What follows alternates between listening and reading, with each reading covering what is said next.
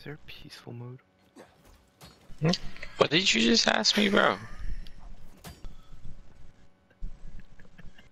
What do you mean?